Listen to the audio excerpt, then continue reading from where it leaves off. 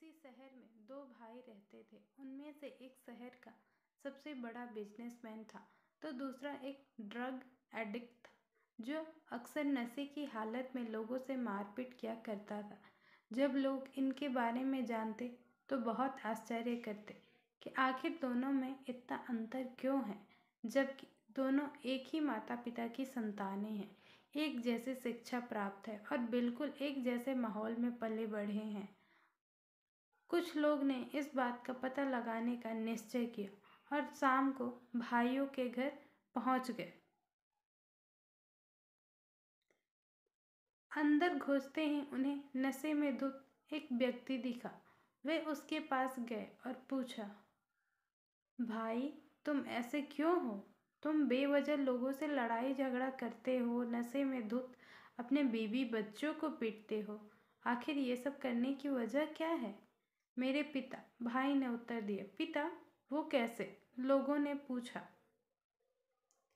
भाई बोला, मेरे पिता शराबी थे। वे अक्सर मेरी माँ और हम दोनों भाइयों को पिटा करते थे। भला तुम लोग मुझसे और क्या उम्मीद कर सकते हो? मैं भी वैसा ही हूँ। फिर वे लोग दूसरे भाई के पास गए। वो अपने काम में व्यस्त था और थोड़ी देर बाद उनसे मिलने आया। माफ़ कीजिएगा, मुझे आने में थोड़ी देर हो गई। भाई बोला, बताइए, मैं आपकी क्या मदद कर सकता हूँ?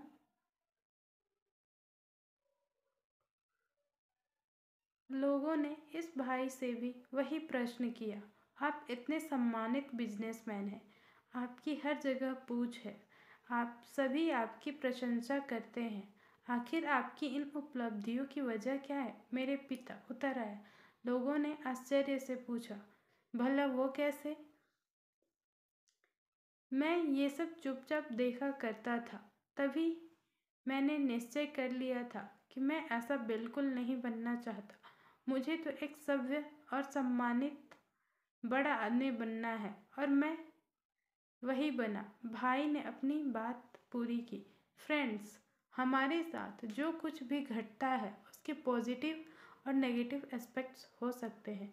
ज़रूरत इस बात की है कि हम पॉजिटिव एस्पेक्ट पर कंसंट्रेट करें और वहीं से अपनी इंस्पिरेशन ड्रॉ करें। अगर आपको यह वीडियो अच्छी लगी हो तो हमारे वीडियो को लाइक करें चैनल को सब्सक्राइब करें, साथ में कमेंट करें।